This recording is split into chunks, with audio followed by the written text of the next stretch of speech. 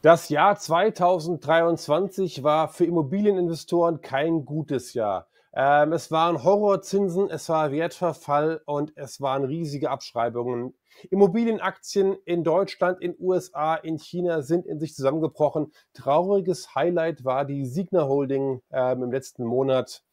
Ich habe heute einen CEO da, der eine Firma gegründet hat, an der das alles scheinbar relativ spurlos vorübergegangen ist. Und ich hoffe, ähm, er sagt uns heute sein Geheimrezept. Vorhang auf für den CEO der DD Pharma, der deutschen Fachmarkt.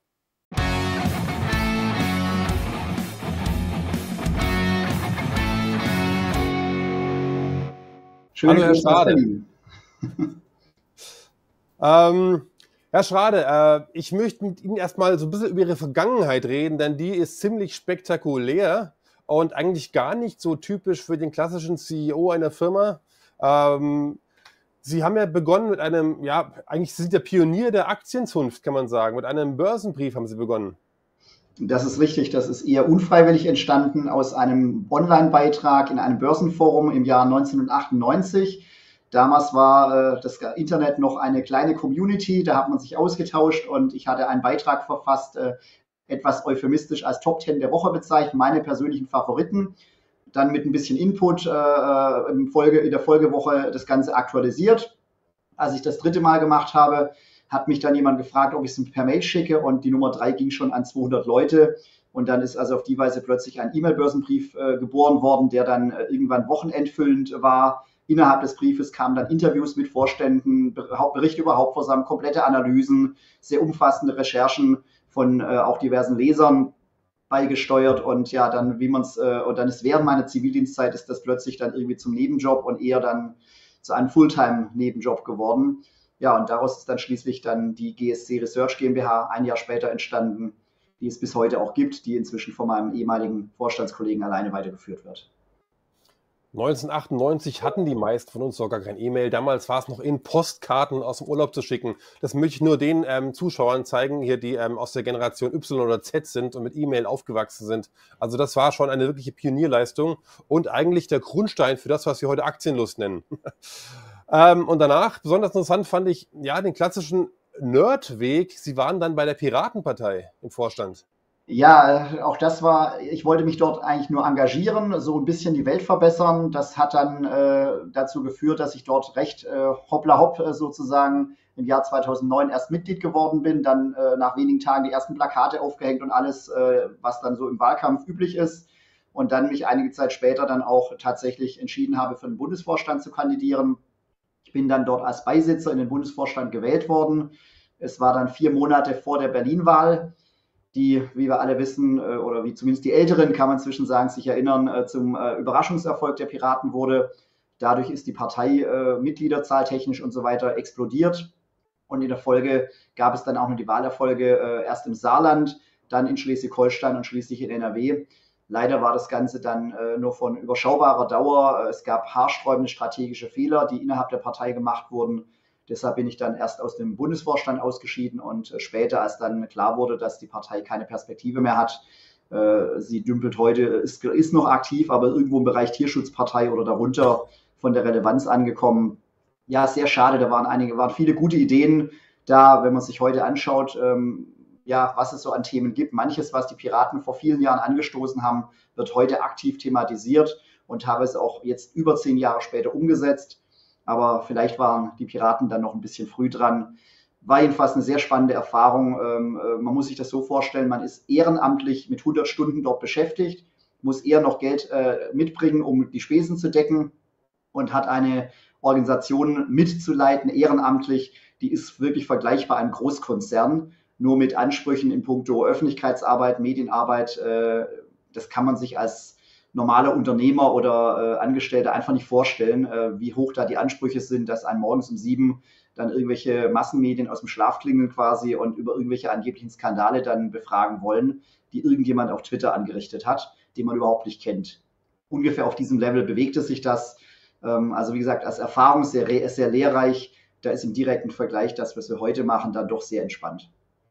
Vielleicht können Sie es eines Tages bei sich selber abbuchen als ja als Tutorial oder als Praktikum, das Ihnen vielleicht das Organisationstalent beigebracht hat, das Sie ja ganz offensichtlich haben müssen, denn Sie sind ja, kann man wohl sagen, ein self-made Millionär. Ähm, das Ganze, was Sie da aufgebaut haben, kam ja quasi aus dem mehr oder weniger nichts, was Sie da organisiert haben, was heute die D-Pharma ist. Ähm, Sie haben im Bereich Immobilien gearbeitet, ähm, sozusagen, das war die Zeit nach den Piraten und haben sich da was aufgebaut, aber die Defama ist sozusagen Ihr eigenes Kind, kann man sagen. Ich habe die Defama gegründet mit einigen Investoren zusammen äh, vor inzwischen gut neun Jahren. Ähm, und äh, ja, wir haben das dann äh, im Bereich Einzelhandel ein Objekt nach dem anderen, wie man es hier hinten äh, an der Wand sieht, äh, dann äh, eingesammelt. klassische Nachversorgungszentren und ja, das hat sich dann eben recht gut entwickelt, auch an der Börse ähm, recht gut entwickelt. Von daher äh, war das wohl eine richtige Entscheidung. Ähm, es hat aber auch durchaus Parallelen zu der früheren Tätigkeit als Finanzanalyst, weil jedes Objekt ist so eine kleine, ist so ein kleines Unternehmen sozusagen, hat eine Marktposition, hat seine Kunden, die Mieter und da muss man sich auch ein bisschen drum kümmern, hat immer seine Besonderheiten. Das ist nicht einfach nur eine Geldmaschine, wo jeden Monat Geld rausfällt, ähm, keine reine Kapitalanlage. Das ist der Fehler, den viele, äh, vor allem private Käufer bei solchen Objekten gerne mal machen die sowas kaufen und denken, ja, da muss man jetzt dann jeden Monat nur dann die Miete vereinnahmen. Wenn man das macht, dann ist es irgendwann nach 10, 20 oder 30 Jahren möglicherweise dann äh, ein Leerstand, ähm, wenn dann die Mieter weitergezogen sind, einfach weil man dann sich um die nicht gekümmert hat. Ist das also nicht das klassische Triple Net Lease quasi, dass Sie sagen, Sie geben die Immobilie her und nehmen sie am Ende der Laufzeit wieder entgegen renoviert, sondern das ist wirklich, Sie kümmern sich um die Immobilien vor Ort? Also TripleNet gibt es in diesem Segment nicht, insbesondere weil wir in den Kleinstädten unterwegs sind und eben nicht in Hamburg, Berlin, München, wo die Vermieter, die die Standorte haben, ein Stück weit auch die Macht haben zu diktieren, wie ihre Konditionen aussehen. Eine ECE, e, sage ich jetzt mal exemplarisch, die hat ihren Mustermietvertrag, den können sie unterschreiben. Da kann man über die Miethöhe dann noch diskutieren, aber über den Vertrag als solches eher nicht. Äh, bei uns ist es andersrum. In diesen kleinen Städten haben dem Grunde nach die Mieter, also die großen Filialisten wie Aldi, Penny, AWG, Kick, Deichmann, Taco, Jüsk, Turmbaumarkt oder solche Mieter ähm, dem Grunde nach äh, erstmal die Macht im Sinne von, sie legen den Mietvertrag vor und auf ihrer Mietvertragsbasis wird dann gesprochen und nicht auf der Basis, äh, die wir als Vermieter vorlegen. Bei uns ist es außerdem noch so, wir kaufen ja bestehende Objekte. Das heißt, da sind die Mietverträge schon vorhanden, ähm, jedenfalls die, die wir dann erstmal am Anfang übernehmen die irgendwann teilweise vor Jahrzehnten von Voreigentümern geschlossen wurden. Und in der Regel zahlen die Mieter bei ähm, Objekten unserer Art ähm, nicht alle Nebenkosten. Also zum Beispiel zahlen die Filialisten Grundsteuer und Versicherung schon mal aus Prinzip nicht. Und bei anderen Positionen ist es Verhandlungssache. Es gibt Fälle, wo die Mieter tatsächlich so gut wie gar keine Nebenkosten tragen. Da geht dann halt alles an Betriebskosten oder so noch von der Nettomiete runter da muss man dann eben sehr genau aufpassen, äh, dass das, was in der Kasse ankommt, äh, immer noch ausreichend ist. Ähm, häufig ist das aber nur ein Faktor, wo der Voreigentümer oder die Voreigentümer schlecht verhandelt haben. Dann sind meistens auch andere Dinge nicht besonders attraktiv. Aber eine Aufgabe ist es eben beim Einkauf schon das zu analysieren, was an sogenannten nicht umlagefähigen Kosten besteht, weil ähm, das sind durchaus mal in der Spitze, habe ich das gesehen, bis zu 50 Prozent der Nettomiete. Typisch sind eher so um die 5, 10, manchmal 15 Prozent. Das hängt immer vom einzelnen Objekt äh, und äh, der Mieterstruktur ab. Aber ähm, da kann also ganz, ganz viel im Argen liegen. Im Positiven, äh, wenn alles umlagefähig ist, kann es besser sein, als man vielleicht denkt. Aber häufiger ist dann, dass dann eben der Mieter dann eben ungefähr nichts zahlt, außer Strom, Gas und Wasser. Also im Gegensatz zu US-Immobilien-REITs haben Sie quasi den Hausmeister-Service auch noch im Umfang quasi drin. Ähm, jein, also normalerweise haben wir einen lokalen Hausmeister, der sich um das Objekt kümmert und dessen Kosten dann meistens auf die Mieter umgelegt werden können, manchmal aber eben auch nicht. Das ist, wie gesagt, dann oftmals Verhandlungssache. Auch hier gibt es oftmals dann beispielsweise, dass der Mieter nur mit einer Pauschale sich an Kosten beteiligt. Wenn es teurer ist, dann zahlt man das selber.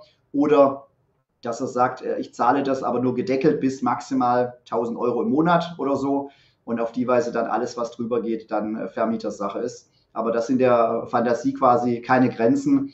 Wir übernehmen ja, wie gesagt, Bestandsmietverträge, kaufen von ganz verschiedenen Verkäufern, haben also damit äh, Dutzende äh, verschiedene äh, Verkäufer, die in verschiedenen Zeiträumen, in verschiedenen Regionen, mit verschiedenen Mitarbeitern, verschiedenen Voreigentümern die jeweiligen Mietverträge geschlossen haben. Und dementsprechend vielfältig sind also auch diese Verträge, sind die Regelungen. Ähm, selbst ein Aldi-Vertrag äh, aus dem Jahr 92 ist nicht identisch, wenn wir von drei verschiedenen Eigentümern drei verschiedene Aldis mit äh, diesem ähm, äh, Hintergrund dann haben. Geschweige denn, wenn man es dann eben äh, ein Aldi, der 2003 gebaut wurde oder der Vertrag geschlossen wurde, der hat eine ganz andere Grundlage, weil Aldi dann auch andere Dinge wollte, ein andere, äh, anderes bauliches Konzept hatte und so weiter. Und ein aktueller Aldi-Vertrag sieht nochmal ganz anders aus. Da habe ich jetzt mal so eine richtige Sendung mit der Mausfrage, die mich auch beschäftigt, persönlich. Wie kaufen Sie denn einen Supermarkt? Kommen die Verkäufer auf Sie zu und sagen, wir wollen da was loswerden? Oder fragen Sie bei der Kassiererin nach, kann ich hier den Laden kaufen? Oder wie läuft das Ganze normalerweise ab? Ja, also das Letztere wäre schön, aber äh, die Kassierer im Aldi haben normalerweise nicht mal eine Ahnung, wer eigentlich ihr Eigentümer ist, äh, weil das interessiert die gar nicht. Die, äh, wenn da irgendwo was kaputt ist, dann melden sie der Zentrale und die wendet sich an den Eigentümer. Also ist es in der Tat so, dass die Objekte uns angeboten werden, von Maklern meistens, manchmal auch direkt von Eigentümern, die die Objekte verkaufen wollen. Und äh, dann müssen wir uns das eben anschauen, ob es von Interesse sein könnte, damit man eine Vorstellung bekommt. Das ist jetzt nicht so mal, dass alle paar Wochen irgendwann mal was angeboten wird. Wir werden mit Angeboten überschüttet. Ähm, es gibt hunderte von Angeboten jedes Jahr.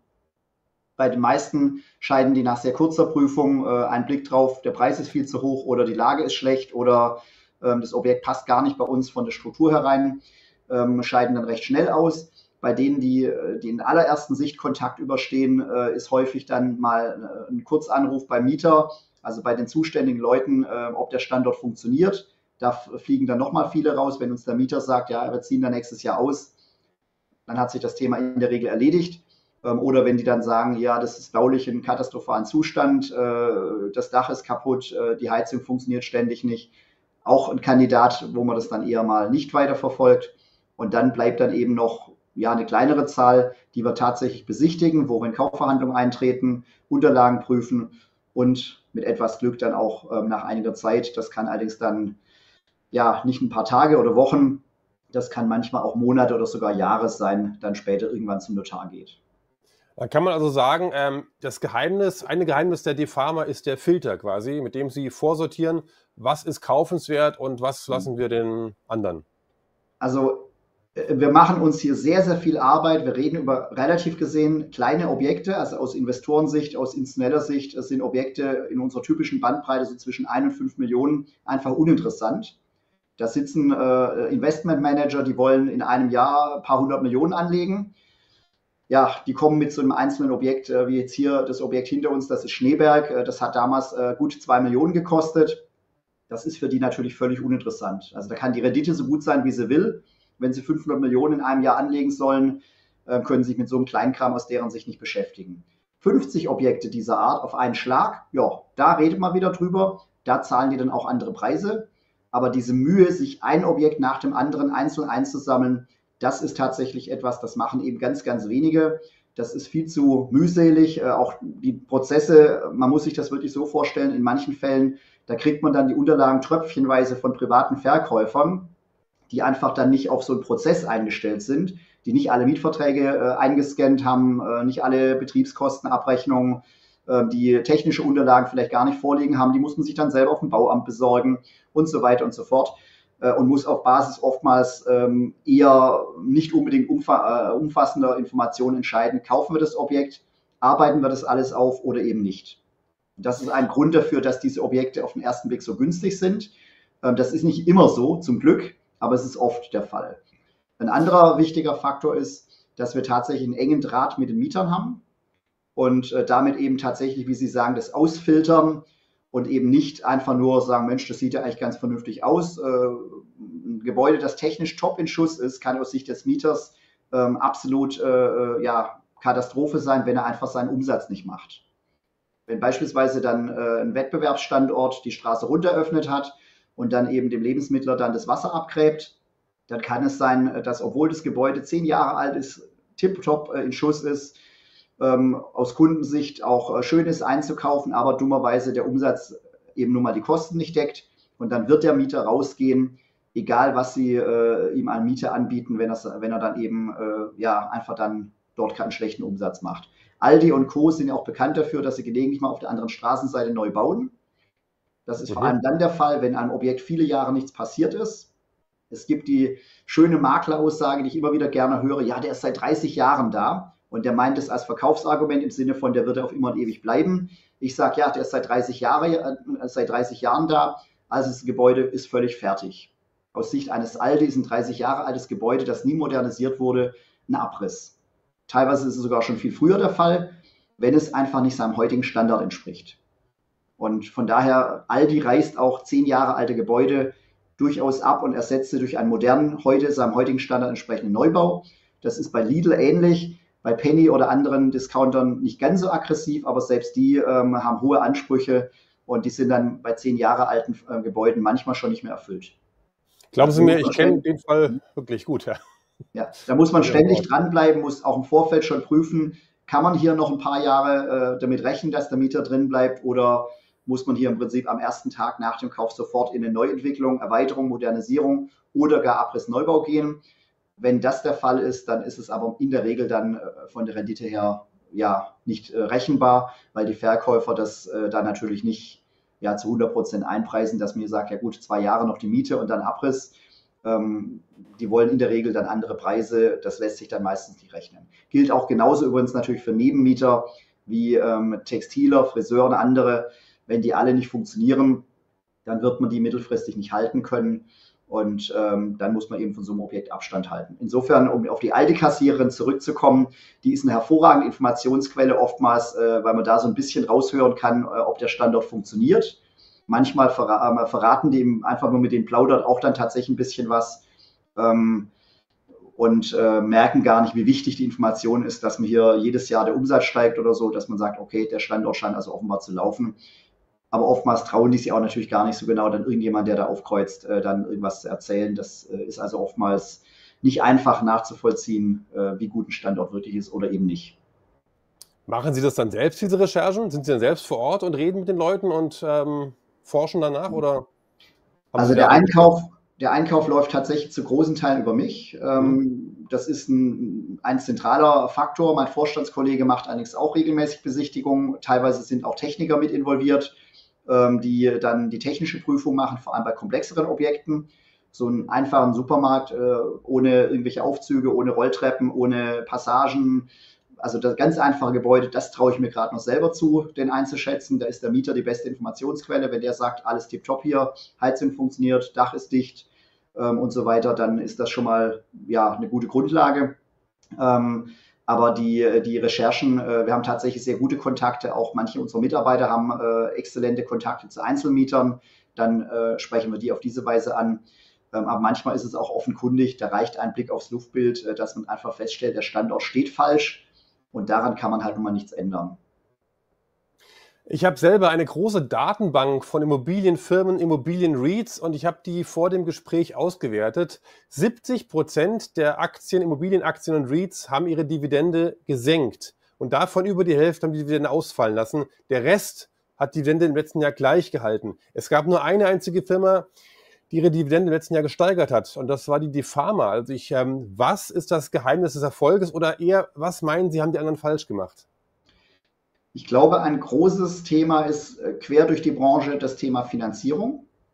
Wir haben als meines Wissens einzige deutsche Immobilien AG ähm, keine Anleihen und Schuldscheindarlehen ausgegeben, also weder das eine noch das andere und damit keine Finanzierungsrisiken auf der Holding-Ebene, ähm, weil eine Anleihe muss man dann eben ja auf Gedeih und Verderb irgendwie zurückzahlen. Wenn das äh, aber im aktuellen Umfeld nicht möglich ist, die eine Anleihe durch eine neue einfach zu ersetzen, dann kann das richtig, richtig blutig werden. Dann muss man plötzlich dann zu äh, ja, Notverkaufspreisen Objekte verkaufen, muss eventuell eine Kapitalerhöhung zu Tiefstkursen machen.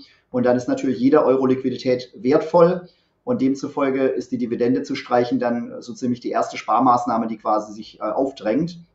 Wir haben unsere Objekte grundsätzlich mit ähm, äh, lokalen oder regionalen Banken finanziert, haben derzeit 37 verschiedene finanzierende Banken, ähm, haben ausschließlich auf äh, Annuitäten oder wir setzen grundsätzlich auf Annuitätendarlehen, das heißt, wir tilgen auch sehr stark und äh, haben dann in der Regel eine zehnjährige Zinsbindung von Anfang an gewählt, haben jetzt im Schnitt fünfeinhalb Jahre Zinsbindung. Das heißt, äh, auf den Bestand bezogen interessiert uns äh, die Zinsentwicklung praktisch gar nicht. Und bei Neukäufen dann muss dann eben der Preis auf einem Level sein, dass sich dann der höhere Zins rechnet. Unterm Strich äh, trifft uns also das ganze Zinsumfeld dann eben nicht. Aber es haben viele, viele Investoren haben dann eben sich irgendwann darauf verlassen, dass es immer und ewig niedrige Zinsen geben wird, haben kürzer finanziert, teilweise variabel finanziert oder Projektentwicklungen eingegangen, die hochriskant sind, die sich nur lohnen konnten, wenn dann das Marktumfeld so bleibt und auch die Verkaufspreise wieder entsprechend hoch sind. Ähm, wenn ich so ein Objekt kaufe und dann sage, ja, da muss ich jetzt noch 10 Millionen reinstecken, dann kann ich es aber auch für 25-fache Jahresmiete verkaufen und auf der Grundlage dann äh, durchgerechnet von hinten sozusagen dann Faktor 20 bezahlt habe. Und jetzt ist ein realistischer Verkaufspreis nur noch die Hälfte. Ja, dann habe ich jetzt ein Problem. Und genau das zieht sich eigentlich quer durch die Branche.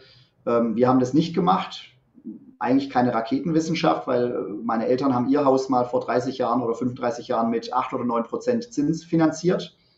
Ähm, ich habe es nicht vergessen. Ich glaube, viele andere Marktteilnehmer haben das vergessen, dass es mal Zinsen gab und haben jetzt äh, durch diese eigentlich nicht so unwahrscheinliche Entwicklung, dass irgendwann mal wieder Zinsen steigen, jetzt existenzielle Probleme ähm, wenn man diesen Fehler nicht gemacht hat, ich kenne auch ein paar Player außerhalb des Kapitalmarkts, äh, die auch äh, ähnlich wie wir agieren, aber halt privat, ähm, dann ist man sehr entspannt in diesem Umfeld. Können Sie davon profitieren? Sie haben gerade die Notverkäufe erwähnt. Ähm, können Sie da gerade Schnäppchen machen oder sind Sie gerade aus Kapitalgründen, sind Ihnen da auch ein bisschen die Hände gebunden? Also wir haben dieses Jahr ja schon fünf Objekte gekauft. Das letzte war gestern. Ähm, wir kriegen jetzt immer mehr Angebote auch zu den Preisen, die äh, für uns dann in Frage kommen, auch von Objekten, die eigentlich qualitativ für uns normalerweise gar nicht erschwinglich wären, weil eben es wenige Käufer nur noch gibt, die im Markt übrig sind. Ähm, wir haben gestern ein Objekt gekauft in Grevesmühlen mit einem lang, mit langlaufendem äh, Nettovertrag. Der ist erst Anfang des Jahres äh, modernisiert worden und eingezogen. Normalerweise würden wir, würden wir solche Objekte nicht kaufen können den Kaufpreis dürfen wir erst äh, publizieren, wenn der auch äh, bezahlt ist. Aber ähm, alleine, dass wir das gekauft haben, ist, glaube ich, schon Indiz dafür, dass das eben nicht zu den üblichen Faktoren, die für Neubau oder de facto auf Neubau Standard gebrachte Objekte mit langer Laufzeit bezahlt werden. Wir haben äh, vor zwei Wochen ein Objekt gekauft, drei Dörfer von meinen Eltern entfernt, in meiner schwäbischen Heimat, äh, in Zell unter Eichelberg, mit einem langlaufenden Rewe-Vertrag, baulicher Top-Zustand ähm, quasi ein Monopol im, im, Radius von zehn Autominuten. Ähm, auch das ist ein Objekt, das äh, eigentlich zum ganz anderen Preis verkauft werden sollte. Ähm, auch ähm, ein Glücksfall für uns, dass wir jetzt aufgrund des Marktumfelds hier zum Zuge gekommen sind. Dieses Objekt hätten wir eigentlich vor zwei Jahren, äh, wäre das ja völlig außerhalb unserer Reichweite gewesen von Kriterien. Viel zu gut für uns, viel zu teuer, dass wir jetzt dann hier zum Zuge gekommen sind. Es war die größte Transaktion der Firmengeschichte. Auch das ist ein Faktor, solche Objekte sind von der schieren Größe von, für institutionelle Investoren dann eben interessant. Da kommen wir normalerweise, haben wir normal keine Chance. Und jetzt kommen solche Objekte plötzlich bei uns zum, zum Abschluss. Ähm, ja, das aktuelle Marktumfeld kommt uns hier sehr entgegen, weil eben viele andere dann erstmal mit sich selber beschäftigt sind. Ist das der Grund, warum die Dividenden der DeFarma sich eigentlich eher im Mittelfeld aufhalten? Wir haben als erklärte Firmenpolitik, wir steigern die Dividende jedes Jahr. Das haben wir seit Firmengründung getan. Aber wir wollen ja auch weiter wachsen. Deswegen äh, werden wir die Dividende nicht exzessiv erhöhen, weil dann müsste man dann eben umgekehrt wieder Kapitalerhöhung machen. Und genau das möchten wir vermeiden. Wir sind damit unabhängig vom Kapitalmarkt. Ähm, unsere Aktionäre werden nicht jedes Jahr verwässert. Es gibt ja auch Firmen, die äh, durch äh, ja, fast jährliche Kapitalerhöhung dann eben wachsen. Das ist kein Kunststück aber aus eigener Kraft organisch zu wachsen, die Kennzahlen pro Aktie immer weiter zu steigern, das bringt am Ende des Tages den Mehrwert für die Aktionäre. Und äh, hier ist bei uns der FFO, ähm, also die sogenannten Funds from Operation pro Aktie, die entscheidende Kennzahl. Ähm, das ist für diejenigen, die ein bisschen sich mit Bilanzen beschäftigen, ähm, das Nettoergebnis plus die Abschreibungen, die ja nicht zahlungswirksam sind zunächst mal, ähm, bereinigt um eventuelle Verkaufsgewinne. Also der tatsächliche, die tatsächliche Ertragskraft, die ein Immobilienportfolio, ein Bestandsportfolio hat, das ist der FFO. Und diese Kennzahl haben wir in den letzten Jahren Jahr für Jahr deutlich steigern können, in den ersten neun Monaten trotz des Marktumfelds erneut um 15 Prozent. Und das wollen wir auch künftig weiter vorantreiben. Sie haben ja das klare Ziel ausgewiesen, Sie wollen Deutschlands größter Anbieter für Fachmärkte werden. Ähm, also von der Marktkapitalisierung her sind Sie sehr, sehr weit vorne. Aber andere Firmen haben natürlich einen wesentlich höheren Bestand, ähm, sind nur gerade eben absolut äh, vom Markt bestraft wegen hohen Schulden und äh, wegen ja, wegen gewaltig großen Abschreibungen. Ähm, wie sehen Sie sich auf dem Weg zu dem Ziel, der Größte zu werden? Also wir wollen eigentlich nicht der Größte werden, sondern einer der Größten. Ähm, der Größte, äh, es gibt jetzt hier an der Börse gibt es nicht viele. Äh, es gibt außerhalb des Kapitalmarkts gibt es Player, die sind viel größer, die kennt aber dem Grunde nach keiner. Also natürlich in der Branche kennt man die, aber ähm, als, äh, als Anleger sind die nicht, ein, äh, nicht investierbar. Ähm, äh, unser Ziel ist nicht unbedingt der Größte zu werden, sondern lieber der rentabelste. Mhm. Ähm, da sind wir, glaube ich, auf einem ganz guten Weg. Ähm, wir könnten auch theoretisch im ganz anderen Maßstab wachsen. Das wäre aber nicht gesund. Wir haben äh, typischerweise äh, dieses Jahr jetzt fünf Objekte gekauft. Letztes Jahr waren es zwölf, allerdings im Schnitt ein bisschen kleiner. Davor waren es acht. Äh, wenn wir Jahr für Jahr 20, 30, 50 Objekte kaufen würden, das muss im Hintergrund äh, auch äh, integriert werden, das muss verwaltet werden. Jeder Objektkauf ist wie eine kleine äh, Unternehmensübernahme. Und ähm, wenn man vorne Objekte kauft und hinten bröckeln die Mieten weg, äh, dann ist es unterm Strich auf lange Sicht äh, keine gute Idee. Das heißt, ähm, auch ein gesundes Wachstum heißt auch, dass man eben nicht jedes Objekt, das interessant ist, äh, sofort erwirbt. Egal, selbst wenn die finanziellen Eckdaten stimmen, dann ist es trotzdem äh, irgendwann personelle Engpässe, Projektentwicklung ähm, und irgendwann sind die Mieter eben weg. Also von daher ähm, wollen wir gar nicht äh, exponentiell wachsen. Ähm, das Marktumfeld gibt ja nur zur groben Einordnung. Wir reden über deutschlandweit 20.000 bis 30.000 potenzielle Objekte in unserem Umfeld. Wenn wir Großstädte und Süddeutschland, die in der Regel für uns zu teuer sind, Ausnahmen bestätigen die Regel, äh, wo wir normal nicht zum Zuge kommen, abziehen, dann reden wir immer noch über mehr als 10.000 potenzielle Kaufobjekte in Deutschland. Und davon werden vielleicht 1.000 oder so jährlich auf den Markt geworfen die zum Verkauf stehen. Wir kaufen zwischen fünf und zwölf, wenn man den Maßstab der letzten Jahre anlegt. Das heißt, wir werden niemals an eine Größengrenze stoßen. Ähm, da müssen wir nicht irgendwo dann äh, ja, sagen, wir wollen jetzt unbedingt der Allergrößte werden und dann versuchen, hier auf 1000 Objekte irgendwie zu kommen. Mag sein, dass das der Markt hergeben würde über die Jahre, aber unser Ziel ist, wie gesagt, lieber möglichst gut Geld für die Aktionäre verdienen bei gutem Wachstum, aber nicht unbedingt bei äh, exzessivem ähm, ja, explodierenden Portfolio. Das explodiert dann irgendwann auf andere Weise. Ich fahre ja persönlich gerne zu den Objekten mal hin, an denen ich beteiligt bin und dass ich sozusagen anfassen kann, sagen kann, aha, so schaut das näher aus. Ich glaube, ich muss bis Pfaffenhofen fahren. Ich komme aus dem Raum Erding. Also man sieht von oben auf die Defarmer Landkarte, sieht man so eine Art Gürtel, der sich so von Rheinland-Pfalz über Hessen ähm, nach ja, ähm, Sachsen erstreckt. Der Norden, der Süden sind eher unbewaldet quasi. Ähm, ist das der Grund, weil da die Immobilienpreise besonders unattraktiv sind? Also der Großraum München ist in der Tat relativ leer, weil äh, München und Oberbayern und sogar darüber hinaus, das sind äh, die Immobilienpreise wahnsinnig äh, gestiegen in den letzten Jahren. Ähm, das ist für uns einfach uninteressant. Wir kaufen nicht äh, in München dann plötzlich zum doppelten Preis. Ähm, wenn wir München was zum Zehnfachen kaufen könnten, würden wir es tun, aber das Angebot ist eben einfach sehr, sehr schlecht dass wir in Pfaffenhofen ein Objekt, das war einer von vier Standorten in einem kleinen Portfolio bekommen haben, ist äh, eher Zufall gewesen. Das war, ist eigentlich schon eine Region, da kommen wir normal nicht ran. Das Objekt haben wir gekauft ähm, zu einem Kaufpreis, der lag nur etwa 10 Prozent oberhalb des Bodenrichtwerts. Also das zeigt schon, dass es eigentlich ein absolut niedriger Preis ist. Ähm, war Teil eines kleinen äh, Portfolios. Äh, dadurch kamen wir hier zum Zuge. Ähm, Norddeutschland sind wir eigentlich ganz gut besetzt, außer die Nordhälfte von äh, Niedersachsen. Das äh, sieht in der Tat, also Großraum Bremen und äh, drumherum. Ähm, da ist bisher einfach nicht zum Abschluss gekommen. Das ist aber nichts, was uns jetzt irgendwie stört. Wir kaufen die Objekte dort, wo sie angeboten werden, wo die Kriterien erfüllt werden. Äh, es muss nicht unbedingt dann diese Lücke geschlossen werden. Es gab auch lange Zeit, hatten wir in NRW beispielsweise gar keine Objekte. Irgendwann hatten wir jetzt dann doch welche. Niedersachsen war, glaube ich, das letzte größere Bundesland, wo wir nicht präsent waren. Inzwischen haben wir dort äh, auch äh, schon vier Objekte, also aber halt eben südlichen Teil von Niedersachsen. Ähm, das ist also dem Grunde nach einfach äh, ja, Zufall. Im Laufe der Zeit, rein statistisch, müssten wir irgendwann auch, vielleicht auch im Großraum München, aber mit hoher Sicherheit auch irgendwann in der oberen Hälfte von Niedersachsen was bekommen. Mit ein Grund, warum Sie damals bei den Piraten waren, war ähm, der Grund, dass Sie gesagt haben, der Euro birgt nicht nur Segen, sondern auch größere Risiken. Sie waren eher der eurokritische äh, Mensch. Ähm, ist es möglich, dass die D-Pharma sich dennoch mal eines Tages auf Europa ausdehnt und wird es dann die E-Pharma werden? Ja, also zunächst mal ähm, ich war nicht in dem Sinne eurokritisch, ich war nur der Ansicht, dass es für die Menschen, zum Beispiel in Griechenland, besser wäre, wenn äh, Griechenland aus dem Euro ausscheidet. Ähm, und habe deswegen äh, gesagt, eigentlich ist es diese, diese gigantischen Summen dorthin zu pumpen, die am Ende des Tages nur über wahnsinnige Sparmaßnahmen äh, äh ja irgendwie vielleicht auch nicht zurückgezahlt werden können. Ähm, das ergibt keinen Sinn.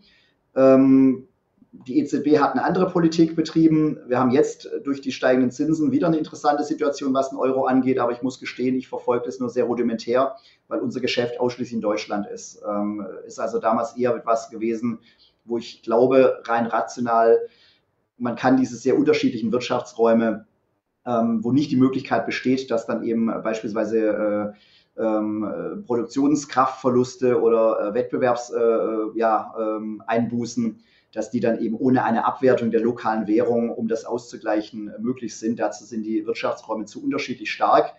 Mal sehen, bisher, ähm, jetzt zwölf Jahre nachdem ich solche Aussagen getätigt habe, hält es noch. Ob das im Sinne der Menschen dort jeweils war, ist eine andere Frage. Ähm, Arbeitslosigkeit ist ja dann teilweise explodiert, äh, auch in Spanien, Portugal. Aber per heute ist der Euroraum noch nicht ernsthaft gefährdet. Damals sah es ein bisschen anders aus. Wer weiß, ob das nochmal kommt. Für uns als Defama wir werden Deutschland nicht verlassen, insbesondere nicht jetzt hier äh, über ganz Europa uns ausbreiten. Ich schließe nicht völlig aus, dass wir vielleicht mal äh, im deutschsprachigen Raum, äh, beispielsweise in Österreich, aktiv werden. Schweiz wäre da noch zusätzlich schon die Komponente Währung, hat man ja. eine andere Währung, aber auch in Österreich, Schweiz äh, oder jetzt bei uns von Berlin aus äh, quasi benachbart im Polnischen, da gibt es anderes Baurecht, da gibt es andere Player, die im Markt unterwegs sind sowohl auf der Mieterseite als auch ähm, äh, im, ähm, im äh, Verkäuferbereich oder ähm, im äh, Bankenbereich. Das sind Dinge, das würde das gesamte Geschäft bei uns komplexer machen. Der Markt in Deutschland ist so riesig, wie gesagt, über 10.000 realistischerweise für uns in Frage kommende Objekte. Da müssen wir nicht unbedingt, um irgendwie noch ein bisschen mehr äh, Wachstum zu generieren, äh, irgendwas dann in den Regionen machen.